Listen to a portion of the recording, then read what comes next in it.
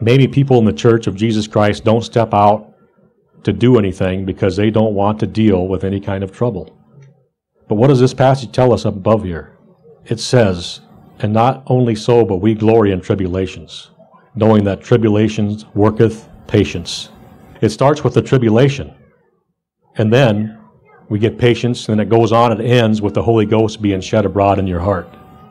Try giving that some, selling that on TV, all right? Come for your healing, give 20 bucks. How about saying, come get your tribulation, send $40, we got it for you.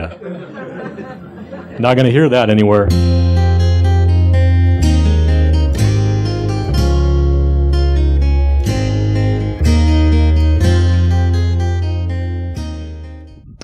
Praise the Lord this morning. One of the songs this morning it says, Do we have trials and temptations?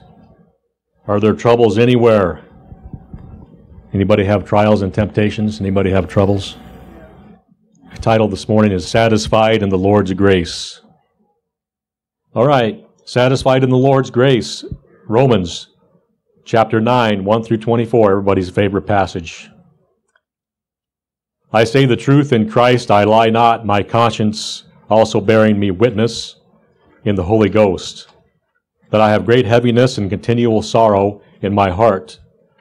For I could wish that myself were accursed from Christ for my brethren, my kinsmen according to the flesh, who are Israelites, to whom pertaineth the adoption, and the glory, and the covenants, and the giving of the law, and the service of God, and the promises whose are the fathers, and of whom, as concerning the flesh, Christ came, who is over all, God blessed forever. Amen. Not as though the word of God hath taken none effect, for they are not all Israel, which are of Israel. Neither because they are the seed of Abraham are they all children. But in Isaac shall thy seed be called. That is, they which are the children of the flesh, these are not the children of God, but the children of the promise are counted for the seed. For this is the word of promise at this time will I come, and Sarah shall have a son. and not only this, but when Rebekah also had conceived by one, even by our father Isaac, for the children being not yet born, neither having done any good or evil, that the purpose of God according to election might stand, not of works, but of him that calleth. It was said unto her, The elder shall serve the younger, as it is written, Jacob have I loved, but Esau have I hated. What shall we say then? Is there unrighteousness with God? God forbid. For he saith to Moses, I will have mercy on whom I will have mercy, and I will have compassion on whom I will have compassion. So then it is not of him that willeth, nor of him that runneth, but of God that showeth mercy. For the scripture saith unto Pharaoh, Even for this same purpose have I raised thee up, that I might show my power in thee, and that my name might be declared throughout all the earth.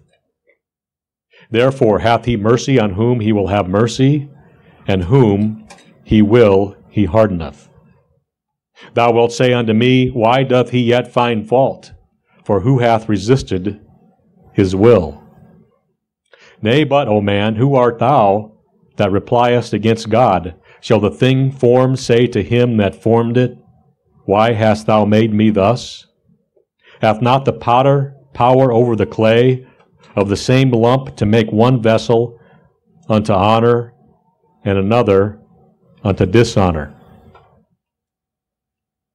Verse 22 What if God, willing to show his wrath and to make his power known, endured with much long suffering the vessels of wrath fitted to destruction, and that he make that he might make known the riches of his glory on the vessels of mercy which he had afore prepared unto glory. Even us, whom he hath called, not only of the Jews only, but also of the Gentiles. You can chew on those scriptures this afternoon, 1 through 24. again and again, and you'll get a lot of stuff out of that. And I hope you do. This message of this morning is not on the concepts of Arminianism and Calvinism. It is simply on the sound biblical doctrine that we owe 100% of our salvation to the Lord. And that should give us perpetual satisfaction in Him as we incur unpleasantries in this world. Whether it comes from our, from our own actions, the devil, others, or simply because this world is in a fallen state because of sin. We will talk about the troubles and the tribulations shortly, but we, we must first get a grip on the fact that the Lord has elected us and He will take care of His children. Many in this church are going through severe trials and tribulations. And many times that can take your focus off the Lord onto your unpleasant situations. Keep your mind on the Lord, for he will keep thee. The simple fact is that he saved you while you were against him. Will he now be against you while his spirit lives within you? I say assuredly not. Please turn to Romans 5:10. For if when we were enemies we were reconciled to God by the death of his son, much more being reconciled we shall be saved by his life. Praise the Lord. Romans 8 29 through 39. For whom he did foreknow, he also did predestinate to be conformed to the image of his Son, that he might be the firstborn among many brethren. Moreover, whom he did predestinate, them he also called, and whom he called, them he also justified. And whom he justified, them he also glorified. What shall we say then to these things? If God be for us, who can be against us. He that spared not his own son, but delivered him up for us all, how shall he not with him also freely give us all things? Who shall lay anything to the charge of God's elect? It is God that justifieth. Who is he that condemneth? It is Christ that died, yea, rather, that is risen again who is even at the right hand of the God, who also maketh intercession for us. Who shall separate us from the love of Christ? Shall tribulation or distress or persecution or famine or nakedness or peril or sword? As it is written, For thy sake we are killed all the day long, we are counted as sheep for the slaughter. Nay, in all these things we are more than conquerors through him that loved us. For I am persuaded that neither death nor life, nor angels, nor principalities, nor powers, nor things present, nor things to come, nor height, nor depth, nor any other creature shall be able to separate us from the love of God, which is in Christ Jesus our Lord. John 6:44 No man can come to me except the Father which hath sent me draw him. And I will raise him up at the last day. I think a lot of times when we talk about election or God's election for us, people stumble at the fact that it takes away free will. When it doesn't do that at all. We just have to remember that free will is upon everybody in the world. The difference between there's a difference between free will and ability. We, if we take a natural man, um, we take Jack has a free will to do what he wants in this world.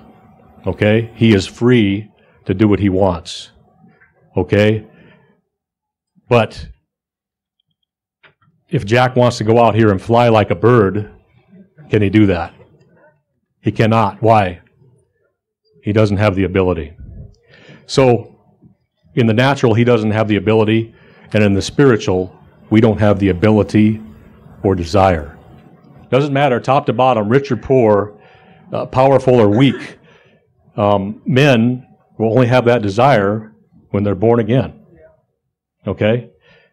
We have examples of Pharaoh. He was a powerful man, seen miracles from God. Miracles right out of heaven, and still wanted to kill the Lord's people. Revelation. Here's a good instance of, of uh, the end times when people will see miracles, chapter 16, verses 8 through 11. And the fourth angel poured out his vial upon the sun, and power was given unto him to pray, to, to give unto him unto him to scorch men with fire, and men were scorched with great heat, and blaspheme the name of God, which hath power over these plagues. And they repented not to give him glory. And the fifth angel poured out his vial upon the seat of the beast, and his kingdom was full of darkness. And they gnawed their tongues for pain and blasphemed the God of heaven because of their, their pains and their sores, and repented not of their deeds.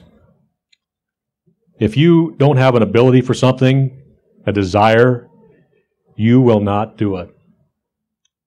Um, that's just the way it is, and we all know that. And you know, there's a guy in school one time. He told me, he goes, "Boy, Kyle, this girl, I like her." He goes, "She's he, I knew who it was, and he goes, Isn't she the most beautiful girl you've ever seen in your life?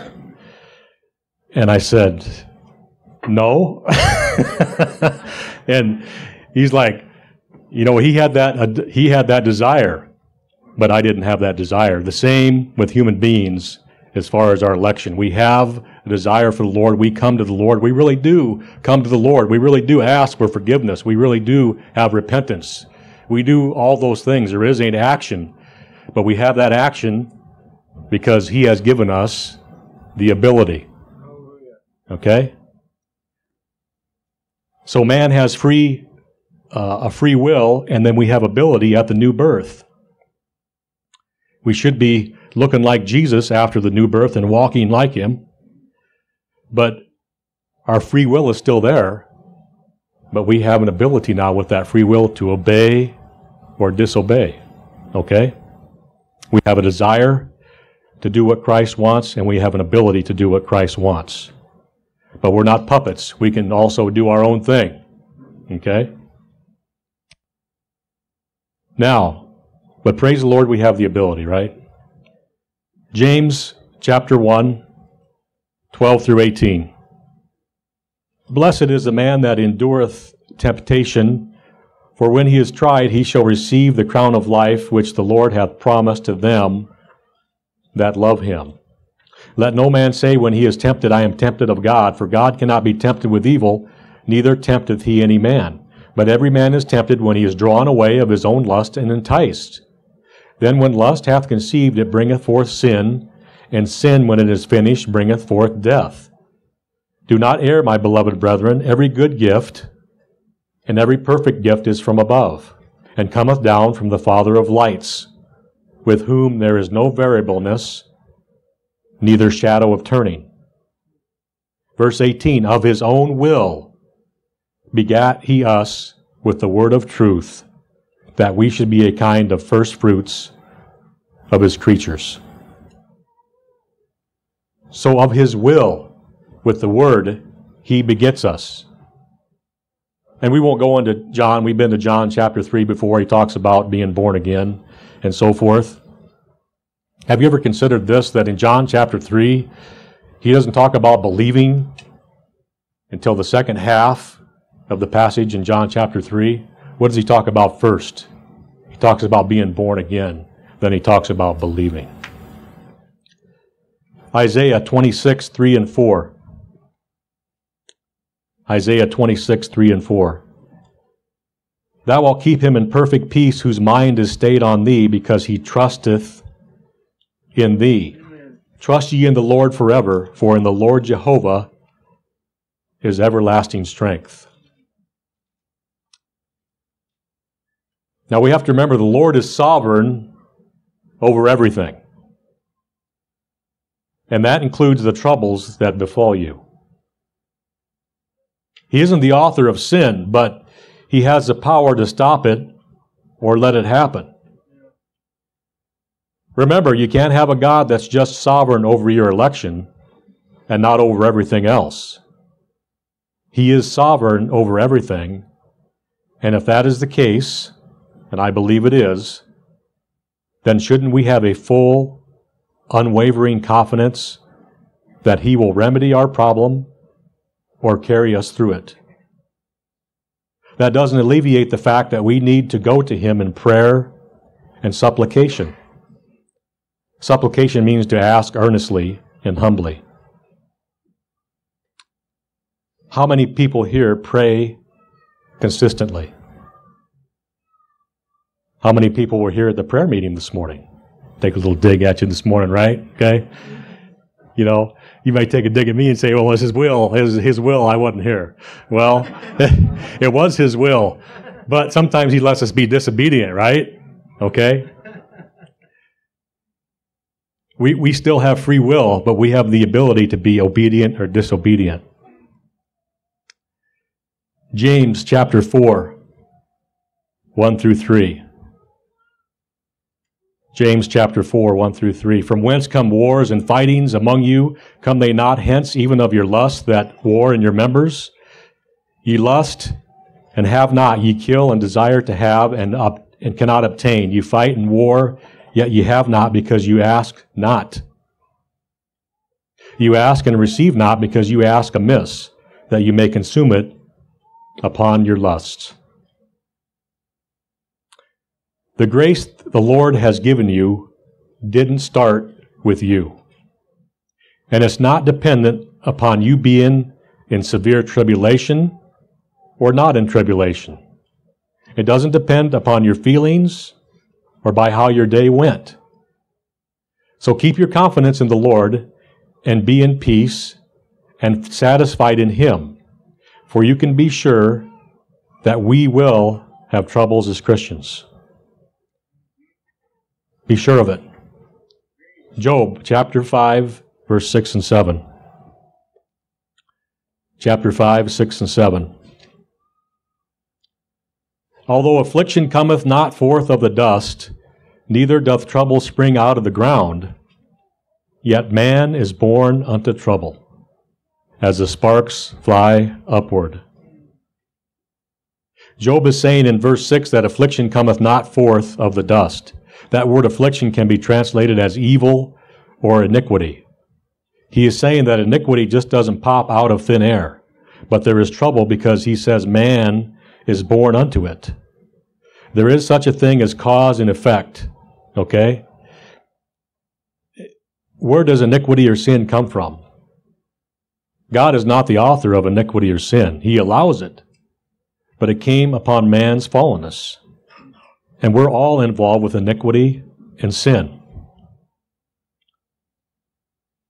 My point is, is that we are going to have troubles in this life. That's what Jesus said in Matthew 16, 25 through 33. Matthew 16, 25 through 33. Is it John? Okay. John 16, 25 through 33. These things have I spoken unto you in Proverbs, but the time cometh when I shall no more speak unto you in Proverbs, but I shall show you plainly of the Father. At that day ye shall ask in my name, and I say unto you that I will pray the Father for you. For the Father himself loveth you, because ye have loved me, and have believed that I came out from God. I came forth from the Father, and am come un- into the world. Again, I leave the world and go to the Father. His disciples said unto him, Lo, now speakest thou plainly, and speaketh no proverb. Now we are sure that thou knowest all things, and needest not that any man should ask thee, but by this we believe that thou camest forth from God. They believe, and they're saying they believe now, okay? Verse 31 Jesus answered them, Do you believe now? Or do you now believe? Verse 32 Behold, the hour cometh, yea, is now come, that ye shall be scattered, every man to his own, and shall leave me alone. And yet I am not alone, because the Father is with me. These things have I spoken unto you, that in me ye might have peace. In the world you shall have tribulation. Be of good cheer. I have overcome the world. You know, in the business world, in the welding world, in the construction world, uh, Curtis knows when you see the word shall in your in your specification, that means it's going to take place. Okay? It's not maybe, it's shall. Jesus says, These things in the world you shall have tribulation. And he's trying to tell them that because, like me and Lance, we were discussing this morning, you know, we we come here we're, we're commanded to come here. Praise the Lord. We want to come here. We have a desire to come here. Praise the Lord and praise His name.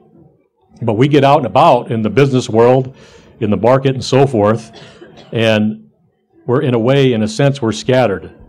Okay? And then tribulation can come, and then all of a sudden you're at work and you got 40 people around you, and they're saying, you know, an example, these LGBTQ people, they're right. They should that's that's a that's a true thing and that's a righteous thing. And then you're over there by yourself and you're like, oh boy, you know, you know, you're like R.C. Sproul in class when his teacher says, "You believe that Jesus is the only way," and Sproul's like, "Oh my gosh, you know, what am I going to say now?" All these students are around, you know, and he has to stand up and he he goes, uh, "Yes," you know. So we we have to stand in the face of that, but we're going to have tribulation. Jesus says it, and he's warning us here he says to them, The hour cometh, yea, is now come, that ye shall be scattered every man to his own, and ye shall leave me alone. In this world ye shall have tribulation. Jesus says they'll have tribulation, and here's why. Acts chapter 14, partially why. Acts chapter 14, 21 and 22. Acts 14, 21 and 22. And when they had preached the gospel to that city and had taught many, they returned again to Lystra and to Iconium and Antioch, confirming the souls of the disciples and exhorting them to continue in faith, and that we must, through much tribulation, enter into the kingdom of God. And that we must, through much tribulation, enter the kingdom of God. Romans 5 1 through 5. Therefore, being justified by faith, we have peace with God through our Lord Jesus Christ, by whom also we have access by faith into this grace, wherein we stand and rejoice in hope of the glory of God.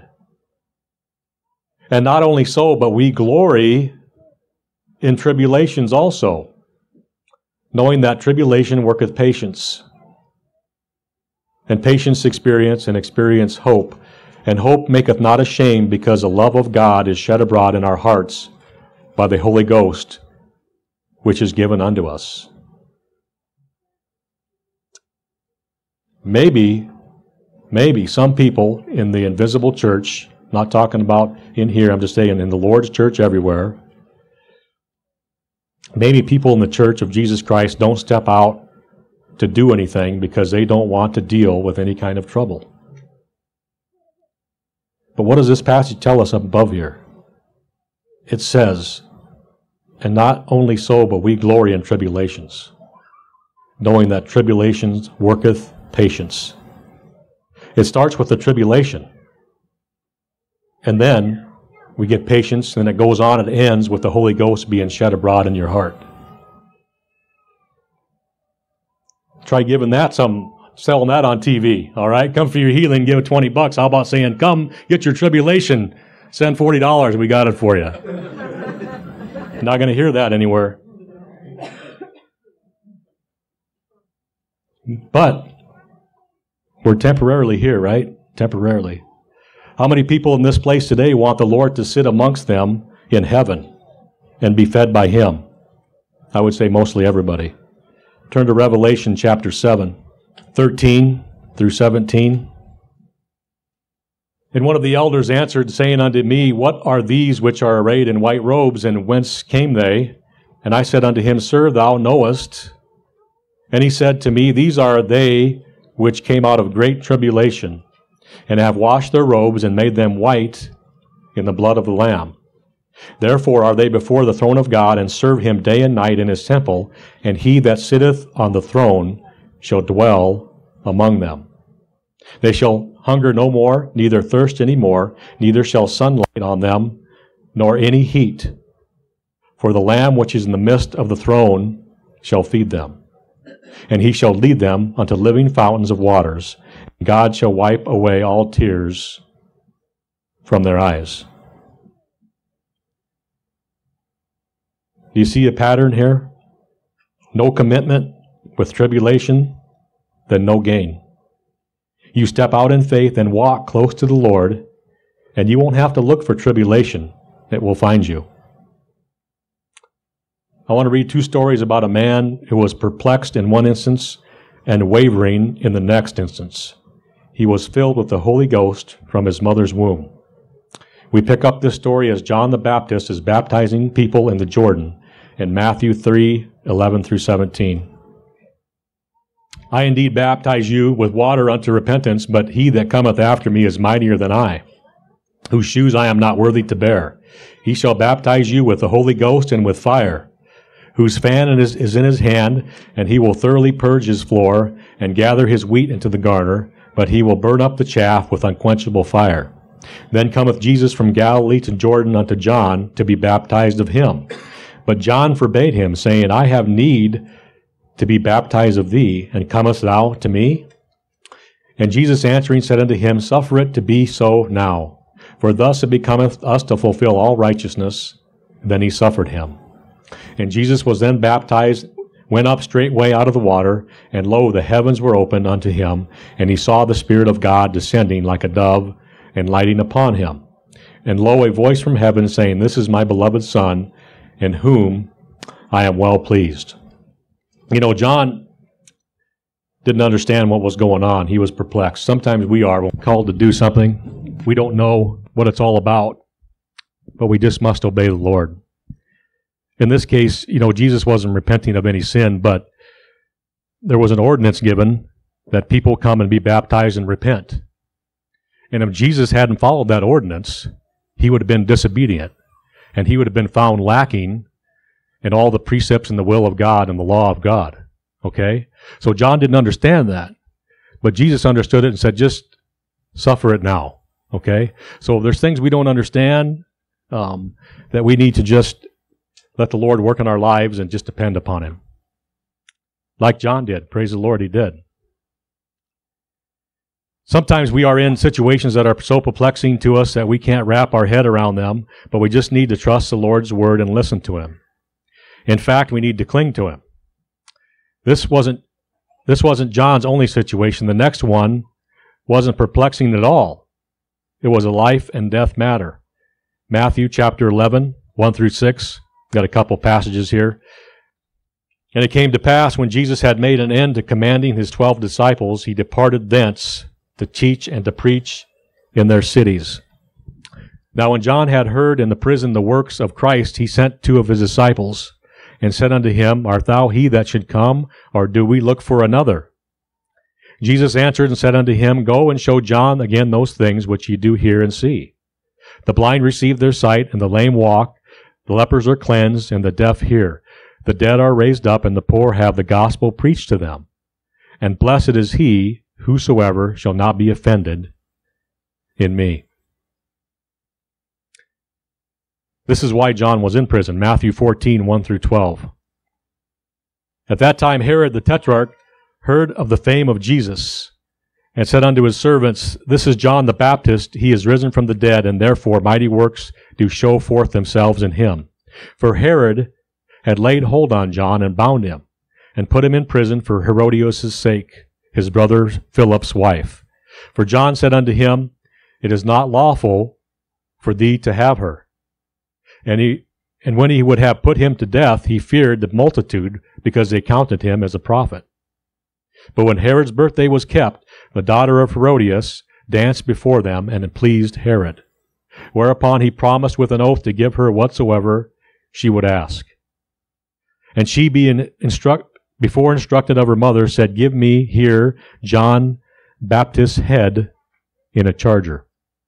And the king was sorry, nevertheless, for the oath's sake, and them which sat with him at meat, he commanded it to be given her. And he sent and beheaded John in the prison. And his head was brought in a charger, and given to the damsel, and she brought it to her mother. And his disciples came and took up the body, and buried it, and went and told Jesus. So what happened here? John did what we're supposed to do, right? We preached the gospel, preached the word of God. And he was put into tribulation or into the prison. As soon as he's in prison, he starts asking, Go ask Jesus if he's the one. I'm taking a little license here. I don't know what he was thinking. Maybe he was like, uh, I don't know if I should be here in prison. Go ask Jesus if he's the one, or should we look for somebody else? Um, did Jesus run and get him out? No. He was beheaded.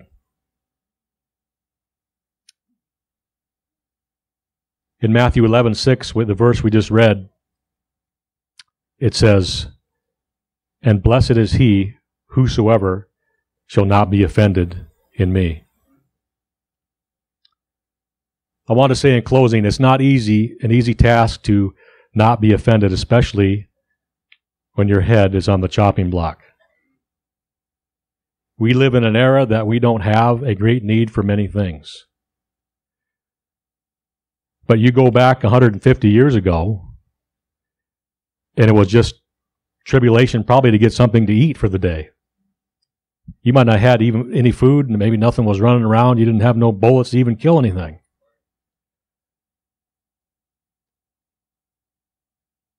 But even back then and now, there's something we can put our hope in if we're in tribulation, even if our head is on the chopping block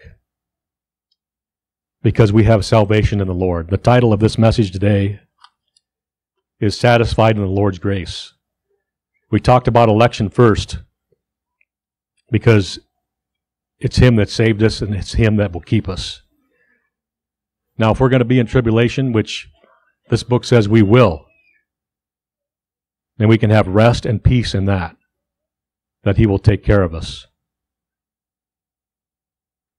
Habakkuk chapter 3, 17 through 19.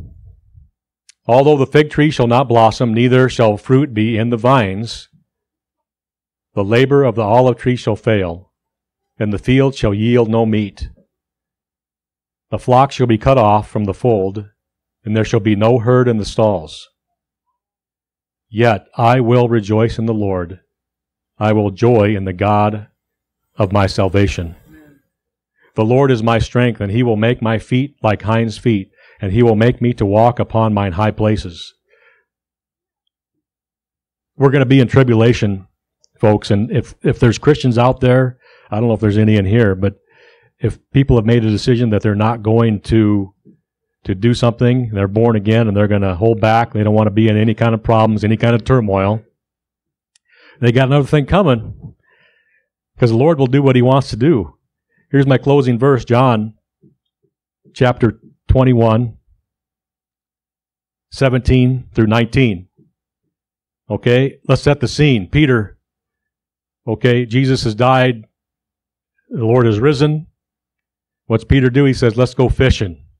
Okay, he's not even thinking about preaching. He says, let's go fishing. The Lord comes and he says, he's asking Peter if he loves him. And we pick it up here the third time, he says in 17. He saith unto him the third time, Simon, son of Jonas, lovest thou me? Peter was grieved because he said unto him the third time, Lovest thou me? And he said unto him, Lord, thou knowest all things, thou knowest that I love thee. Jesus saith unto him, Feed my sheep. Verily, verily, I say unto thee, when thou wast young, thou girdest thyself and walkest whither thou wouldest. But when thou shalt be old, thou shalt stretch forth thy hands, and another shall gird thee, and carry thee whither, whither thou wouldest not. This spake he, signifying by what death he should glorify God. And when he had spoken this, he saith unto him, Follow me. And then even after that, Peter's talking about John. He's going, well, what about John? I got to follow you. What, what's John doing? John, uh, the Lord says, well, you know what, Peter, if he just tarries here, that's none of your business, but you follow me. Let's pray this morning. Lord, we just thank you this morning, Lord, for your faithfulness, for your abundance, for keeping us, Lord. Lord, we thank you, Lord. We glory. Your Bible says to glory in tribulations, Lord, and we do this morning. And our glory and mostly is in that you will keep us, Lord. You will look after us. You have birthed us, and you're faithful and true, Lord. And I ask, Lord, that you just minister to every person here that, Lord, you're doing a great work, Lord, that you want to to save people and you want to use us to to do your work, Lord. Would you minister to us this morning, Lord? Help us, Lord. If there's somebody that doesn't want to step out and do something, Lord, just prod them, Lord. Anoint them to do your will, Lord. There may be tribulation involved, Lord, but just be with them and keep them, Lord. And those that are in tribulation right now, Lord, just give them a peace, Lord, that passeth all understanding, Lord. For you said you would never leave us nor forsake us. And you're not a man that you should lie, Lord. We just thank you for all this. We ask you protect us, Lord. Be with us the rest of the day, Lord. Holy Spirit, just fill us, Lord, the rest of the week. We ask it all in Jesus' name. Amen.